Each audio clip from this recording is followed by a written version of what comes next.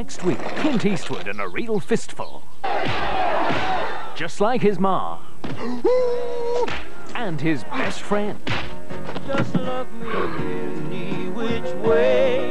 Saturday, 6.45.